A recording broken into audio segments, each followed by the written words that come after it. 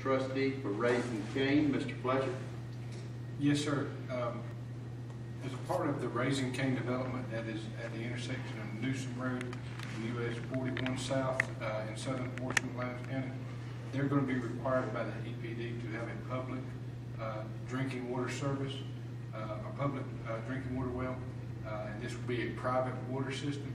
In order for the, uh, for them to get this approved through the EPD, uh, Raisin Cane needs a, uh, needs the commissioners to accept a trust deed showing that Lowndes County will accept this uh, if they default. Do we have any questions for Mr. Fletcher? I had one, um, Mr. Chairman. Yes, Um, sir. It's my understanding that, uh, the need for this, in- uh, this trust is, is is due to, uh, the need to have a water fountain inside of the facility.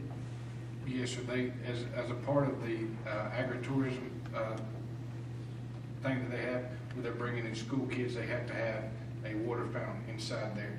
And the water that comes through there cannot just be regular well water, it has to be treated, it has to be chlorinated water. So it has to be monitored by the state. So it's, it's something the state mandates, water fountains in new commercial, uh, developments. Yes, sir. Okay. Any other questions?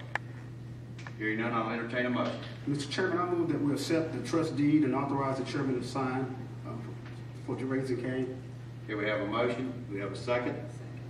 We have a second, any other discussion? Hearing none, we'll call the vote, all in favor signify by aye. Aye. Any opposed, like sign. Hearing none, the motion carries.